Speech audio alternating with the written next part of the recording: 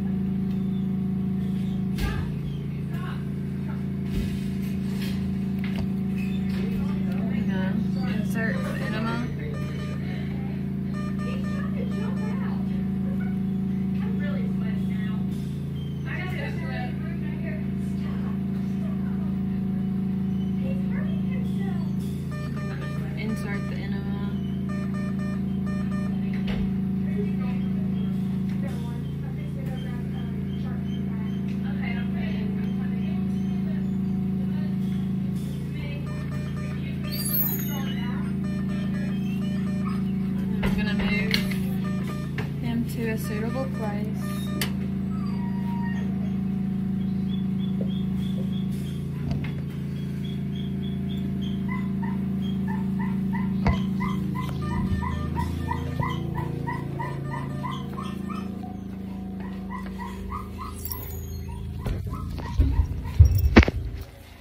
And I will, um, after he wakes up, I'll sedate him again and bathe his back end.